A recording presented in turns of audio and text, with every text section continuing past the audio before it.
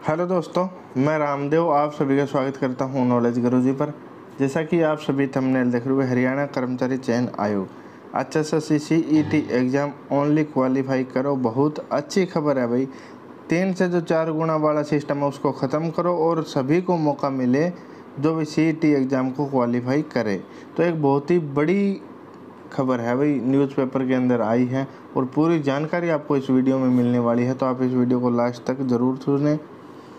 और चैनल पर अगर आप पहली बार आए तो चैनल को ज़रूर सब्सक्राइब करें और साथ ही बेल के आइकन को प्रेस करें, ताकि इस चैनल से कोई भी नई वीडियो अपलोड हो तो नोटिफिकेशन आपके पास सबसे पहले आ जाए। तो ये आप देख सकते ग्रुप बी के अफसर एक पेपर देने पर नौकरी लगेंगे और मगर ग्रुप सी और ग्रुप डी के जो कर्मचारी वो भी दो पेपर देकर लगेंगे। आजकल भाई सबसे ज़्यादा चर्चा है वो ग्रुप सी और ग्रुप डी कर्मचारियों की है, क्योंकि हरियाणा सरकार ने ग्रुप सी और ग्रुप डी की भर्ती के लिए सी e है, वो ज़रूरी कर दिया गया है और इससे की पॉलिसी है, वो भी जारी कर दी गई है। तो इसमें जर्नल कैटेगरी के आपके पचास और आरक्षित कैटेगरी है, जो भी आपके, उनके लिए 40 प्रतिशत अंक लेने ज़रूरी है और इनमें सामाजिक आर्थिक मापदंड है, वो अंक जुड़ेंगे और तब सीईटी का स्कोर तय होगा। इस स्कोर के अनुसार हरियाणा कर्मचारी चयन आयोग जिन पदों की भर्तियाँ करनी होगी, उसके लिए चार गुण उम्मीदवारों को मेरिट के अनुसार बुलाएगा।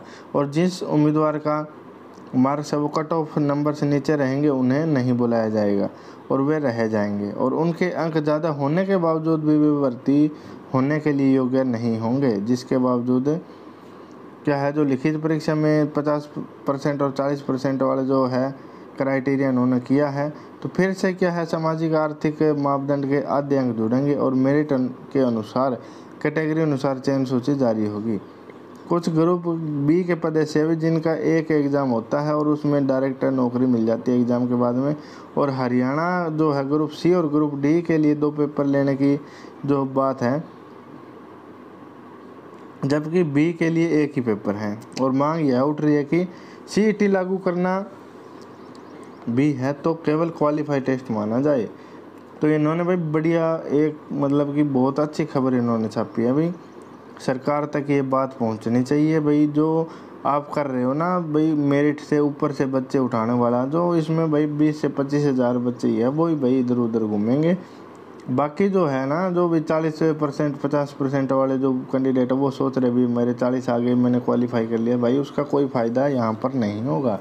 जब तक आप क्या है, मेरिट के अंदर नहीं आओगे ऊपर, यानी दस हज़ार या पाँच हज़ार की जो सूची के अंदर आप नहीं आओगे, तब तक भाई आपको क्या है, नौकरी नहीं मिलने वाली। तो इन्होंने खूब छापा भी।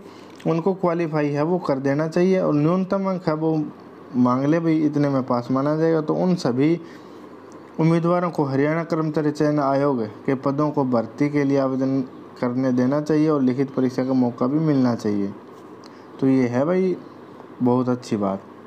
और आप सभी को पता है ट्विटर कैंपेन भी चलाया था तो अभी तक ऐसी कोई न्यूज़ नहीं आई है भाई। सी e है, वो क्वालिफाई कर दिया गया है। तो सरकार को भाई ये पॉलिसी में थोड़ा सा चेंज करना चाहिए। जैसे स्टेट और सी टेट है, वो क्वालिफाई होने चाहिए। जो भाई क्वालिफाई है मिनिमम साठ परसेंट मार्क्स रख दो भाई। ठीक, आरक्षित के लिए पाँच परसेंट कम रख दो। तो उनको क्वालिफाई है और वो भाई सभी जो आगे भर्ती आई, उसमें बैठ बिठाया जाए, ठीक है? ज़्यादा कैंडिडेटों की संख्या नहीं होगी कम, बस डेढ़ दो लाख के आसपास मान सकते हो आप जो क्वालिफाई कर सकते हैं सी e बाकी डेढ़ दो लाख भी मैंने भाई ज़्यादा ही बता दिए, परंतु फिर भी वही बात है ना? तो सभी के लिए अपडेट थी भाई, और वीडियो को ज़्यादा से ज़्यादा शेयर करें, और ये भाई जो खबर है ना, ये बहुत अच्छी न्यूज़ आप सभी के लिए, हो सकती है अगर ये पॉलिसी कर दी जाए तो। इस वीडियो में तो यही इन्फॉर्मेशन थी। वीडियो को लाइक करें, चैनल को सब्सक्राइब करें। धन्यवाद।